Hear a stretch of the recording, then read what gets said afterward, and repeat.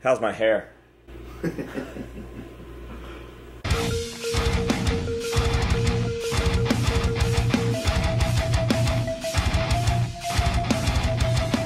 What is going on, ladies and gentlemen? AJ Good here from the House of Masks, and I am with someone very, very special, Mr. Sid Wilson, or Sid, DJ Starscream, number zero from the world famous Slipknot. It deep!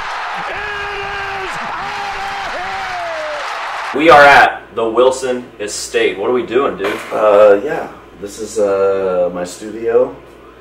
We have uh, some really cool gear in here. We have uh, MTA Series 980 desk uh, made by Malcolm Toft.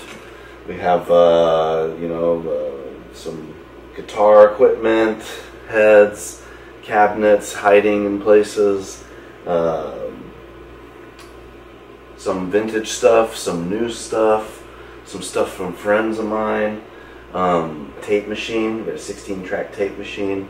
Uh, we got a nice big pool room that you can see to your right. Um, we use that as our verb room, like reverb room Yeah. and it's actually amazing. It's like it just turned out to be this nice thing that was here when Yeah. I got the place. Um, but yeah, it's like it's like a million dollar verb room as we call it over here. So Um, so yeah, um, this is the studio. We recorded Swollen Teeth's EP here.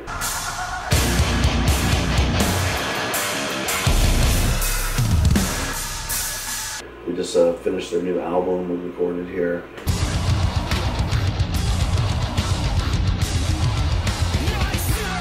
Did the new album with Ross Robinson, so we uh, co-produced this album. So uh, it's it's pretty awesome, man. Things are rolling around here. Yeah. know? And they're only seeing a small portion because there's another room. Yeah, there's the a B side. room. This is the A room. Uh, there's a B room. In here, in the A room, uh, with the desk, we have like you know some Yamahas just for what um, reference to everyone's stereos. We got some Adam audios, which are kind of the high end. Um, while you're got workflow going, and then in the corners, I got the vintage setups for uh, vintage sound three ways. And uh, I just keep collecting equipment and adding more to it, and we just keep getting weird around here and trying to do the fusion of like old school uh, tape machine recording and vintage gear uh, mixed with new digital greatness. So A room's kind of more old school analog. Uh, B room is also analog, but then analog digital. So it's got like the DJ stuff and the keyboards and all that. There's a vocal booth in there. There's different speakers in there. We have Genelecs in there, so that's like I'll go in there and mix a lot of the time. Um, whole space here basically. We have a whole compound, so it's uh, secluded away from the city. We have uh, accommodations for the band when uh, the band comes to record here. We have uh, a place for them to make their food, their own kitchen, their own hangout areas.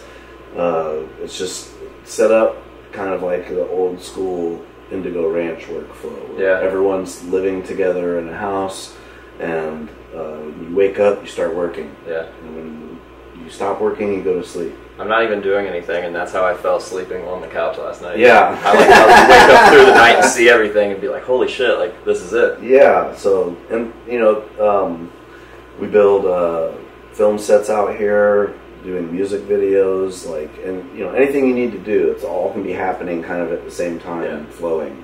It was a You know. full blown production last night. It was Yeah. super sick to see.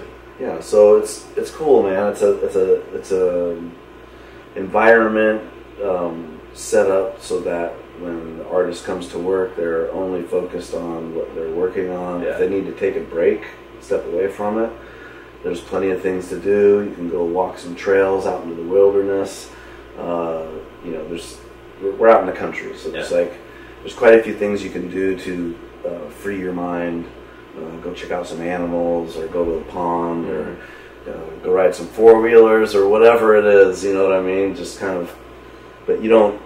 Uh, there's an arcade here too. You know, you want to go outside and Yeah. have a little arcade in here. We got a racing simulator. We got like there's plenty of things to do at the estate. You get, Yeah. you get very productive when you're in this kind of environment. I was gonna more say I haven't it, seen it stop since I've been here, and like even as we're doing this work right now, Yeah. there's something else something happening outside right on. now Yeah, currently That's awesome. that I should be out watching, but it's okay. We've we've met a boiling point today. I Yeah. think. Uh, it's it's really cool. It really is. I don't know what I expected, but I love this a lot more than whatever was in my head. Yeah, when when you get in that kind of workflow too, it um, you just start doing it naturally. Yeah. like you're breathing. You're addicted You to know, it's like you're not walking into a situation and then feeling pressure of uh, the creative process and making sure that you come up with something because you've been doing it every day. It's all you know. Yeah. At that point, you know, there's a certain you'll reach a certain day where it's like you don't even know anything else anymore. Yeah. Literally, Kelly yesterday upset because your day off was spent doing the project. I know. I well, kind of because I'm not directing this video. Yeah. Mega directed this video, so I'm just assisting. Yeah. You know. Um, so yeah, I'm just assisting, giving little pointers Yeah. and things. You know. I love it. I'm all for it. I The things bounce, you know, with the creatives. You're, Yeah. you're, you're talking with each other, bouncing things off each other. Things happen, and then Yeah. you get really epic, Yeah. you know, setups, and you're like, oh.